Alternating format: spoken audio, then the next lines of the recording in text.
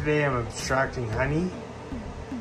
First thing I have to do is scrape this cap off, which the bees put on when the honey is dehydrated enough, which they dehydrate with flapping their wings in the hive.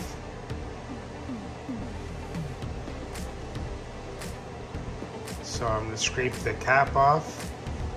This is what it looks like when I scrape the cap off. So now I'll move over to the spinner. So this is how I spin it. Spin it by hand. It's almost like a salad spinner. Then the honey flies out. Collects on the bottom of this uh, canister.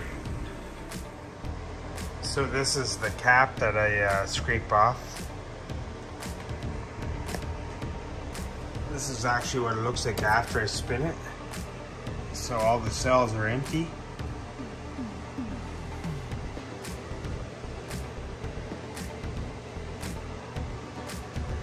So I spun the honey. I'm just straining it now through the double strainer.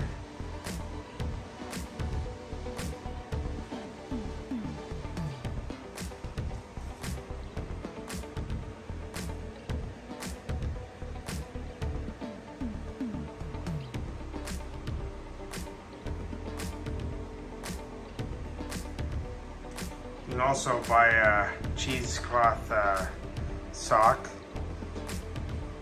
They even strain it a little bit further, but this is uh, good enough for me.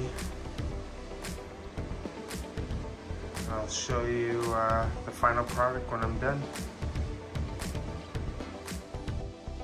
Here's the final product.